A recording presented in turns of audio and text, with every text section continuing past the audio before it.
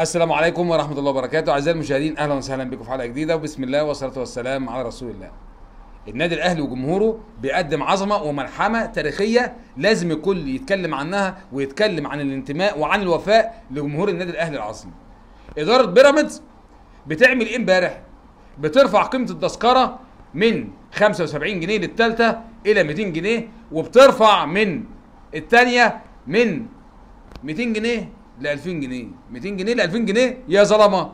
وتدفع المنصورة. المقصورة 5000 جنيه. يقوم الجمهور عامل إيه امبارح؟ الجمهور يروح واخد كل الدساكر وحاجز كل دساكر مباراة الاهلي وبيراميدز. علشان يقدم ملحمة تاريخية للعالم وللجمهور اللي بيطلع يزيط وبيطلع ينافس علينا وبيتنفسن. إحنا شفنا جمهور الزمالك كله شجع بيراميدز الأسبوع اللي فات. وفي الآخر خدوا القضية في الحتة الفاضية من قفشة وعلم عليهم. ممدوح عيد اللي كان منتمي للنادي الأهلي وكان بيشجع وكان موجود في المدرجات النهارده بيتحط عليه. تقوم إدارة النادي الأهلي والكابتن محمود الخطيب الراجل اللي بنحترمه وكل جمهور النادي الأهلي بيحبه وبيحترمه مش يطلع جمهور الزملكاوي اللي بيتكلم يقول لك ده جمهور الأهلي ومحمود الخطيب والساعات اللي شايفينها على السوشيال ميديا اشترى يا عم اشترى إيه وبتاع إيه؟ الراجل بيقدر جمهوره. الراجل اتكفل بكل الدساكر اللي اتدفعت من الجمهور الاهلاوي. وقال لك كمان خد عندك الماتشات اللي جاية. التذكرة ب 50 جنيه. وإحنا اللي هنعوض الباقي لتذكرتي. يعني إحنا اللي هنعوضه. اقعدوا اقعدوا اقعدوا في حتة جنب يعني إيه في حتة ناشفة كده. أنا مش فاهم. الناس دي طالعة بتكايد ونادي الاستثمار وهسحب وعامل زي ال- الست المقموصة من جوزها ليلة الخميس بتروح تبات عند أمها. عايزين يا ابني انزل العب في الملعب تعالى وريني نفسك. انت نزلت في الملعب. يا ابني جمهور الأهلي محدش يقدر عليه. إحنا الأهلي محدش يقدر علينا. النادي الأهلي طول عمره ماشي في خط مستقيم. إدارة جمهور لعيبة مدربين. النادي الأهلي بيصنع التاريخ لنفسه محدش بيصنعه له. وإحنا عارفين كده. النادي الوحيد والأوحد داخل مصر والوطن العربي وأفريقيا اللي ماشي في خطة مستقيمة. هات لأي نادي في إدارات بتتعاقب على حبها للنادي الأهلي زي النادي الأهلي. النادي الأهلي بيتحارب من من جميع الجهات. إن كان اتحاد من رابطة من لجنة حكام للجنة مسابقات النادي الأهلي بيتحارب طول عمره. يطلع الجمهور الزملكاوي يقول لك إيه؟ ده ده النوس ده ده بتاع الدولة والنادي اللي الكل بيساعد فيه ليل ونهار. مين بيساعد النادي الأهلي؟ ربنا سبحانه وتعالى ثم الإدارة الجمهور واللعيبة والمدربين. بس مين بقى هات العوامل الخارجية اللي بتتكلم اللي بتتكلموا ليل ونهار عنها؟ النادي الأهلي منظومة كاملة متكاملة يا جماعة. النادي الأهلي بيكتب تاريخ وحروف من نور علشان العالم كله يعرف قيمة النادي الأهلي. إحنا عارفين الأزمة الاقتصادية اللي بيمر بيها العالم كله مش هقول لك بس عندنا في مصر الدنيا كلها فيها اللي مكفيها. لكن عندنا في مصر الدنيا تعبانة والناس بتشتكي من كل حاجة. غلاء أسعار ارتفاع مواد ارتفاع أكل شرب كل حاجة. لكن في عز الأزمة اللي البلد بتمر بيها بنشوف جمهور النادي الأهلي بيطلع. يعني أنا لما أطلع أنا واولادي وآخد أحفادي أو آخد آه زوجتي أطلع علشان نتمتع ونتفرج على النادي الأهلي يطلع واحد دلدول واحد دلدول تمام؟ ويرفع لي التذكرة. يا ممدوح يا عيد والله لو رفعتها 500 جنيه التالتة لو اترفعت 500 جنيه جمهور الأهلي هيملى الاستاد. لو أنت بقى جمهورك مش هيملى ال 15000 اطرحهم لجمهور الأهلي وانت تشوف الجمهور دوت مالي الاستاد وقاعد ومربع داخل الاستاد. انت بتتكلم في إيه؟ انت بتتكلم في تاريخ. بتتكلم في ناس صنعت تاريخ.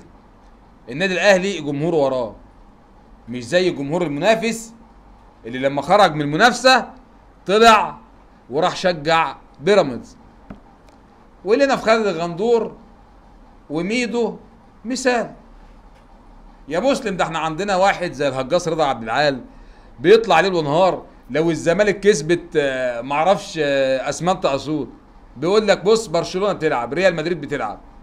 الأهلي يبقى واخد أفريقيا ومقطع الدنيا. ده مدرب تعبان ده هجاص. ده مدرب معرفش إيه. يا راجل قول كلمة حق لربنا. هو انت نفسك ومنى عينك الاهلي يقع في اي حاجة. نفسك الاهلي يقع. عمره ما يقع. والله عمره ما يقع. طول ما ربنا معانا وطول ما في ظهره جمهور. فعلا كلمة جمهور ده حماة. ما اتقالتش من فراغ. ما اتقالتش من فراغ. افهم يا ليفا معنى الانتماء. وعايزك يا ميدو انت طلعت كل شوية عمال تقول لي إيه؟ طلع امبارح بقول مع زيف زاهر بقول والله بيراميدز آه، اتظلم كتير. اتظلم فين يا حالتها فين اللي اتظلم؟ عن أي ظلم بتتكلم؟ هو أنتوا سبتوا المظلومية من الزمالك وقلبتوها على بيراميدز؟ هو أنتوا أي كلام في أي اتجاه علشان تبس تبرروا الخسارة؟ يا ابني في إيه؟ في إيه؟ ما تعقل واركز كده يا ميدو. اعقل واركز. خلي عندك انتماء. فين بقى سنظل أوفياء؟ يعني سنظل أوفياء فضلتوا قارفيننا بيها ليل ونهار على ال social media وعلى التلفزيونات وعلى الإذاعة. سنظل أوفياء. وأغاني معرفش إيه. يا عم اللي أنا أعرفه أنت منتمي لفريق أنا بشجعه على الحلوة وعلى المر. ده اللي أعرفه. بشجعه على الحلوة وعلى المر. لكن تطلع تهجص علينا وانت سكران طينة والدنيا خربانة معاك وعامل لي بودكاست تقول لي ده أنا بطلت عشان خاطر ولادي. وربنا فين؟ يعني أنت عشان تبطل تقول لي عشان خاطر ولادي؟ طيب وفين خاطر ربنا عندك؟ الناس دي مغيبة والله والله الناس دي مغيبة وبتضحك على نفسها وبتضحك على جمهورها. والمشكلة إن في جمهور كتير ماشي وراهم. المشكلة إن في جمهور كتير ماشي وراهم. ليه؟ مانيش فاهم. إحنا عندنا إن شاء الله بإذن الله مباراة بكرة مع الألومنيوم. النادي الأهلي بإذن الله نكسبها. طبعا هنلعب بقى مش هنقول لك بالرديف هنلعب باللعيبة اللي يعني إيه؟ ما لعبتش. وفي آخر الماتش يقدر- يقدر مارسيل كولر يقدر ينزل له كام لعيب علشان نطمن على لعيبتنا.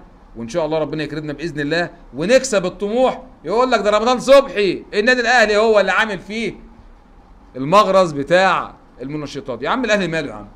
الأهلي يا جاهل يا جاهل. اصحى يا ليفا. يا ليفا اصحى. مال الأهلي ومال رمضان صبحي. رمضان صبحي بقى له أربع سنين ساب الأهلي.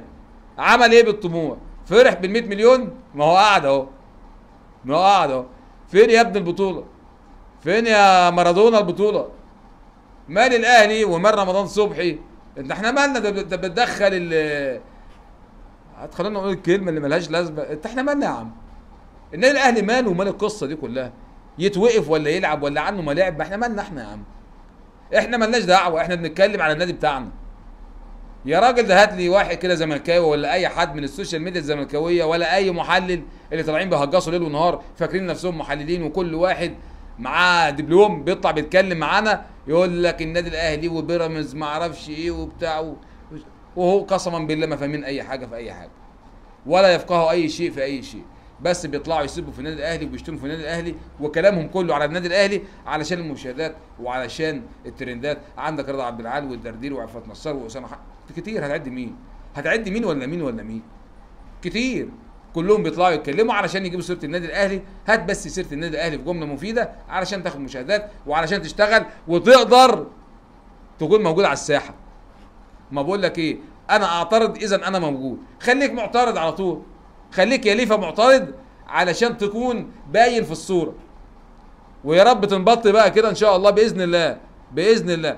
ربنا يكرمنا يوم الاثنين إن شاء الله على بيراميدز ونعمل score عليهم من أول الماتش. وبتمنى من مارسيل كولر ما تنزلش قفشه قفشة مع إمام عاشور تاني. خط النص يرجع زي ما كان.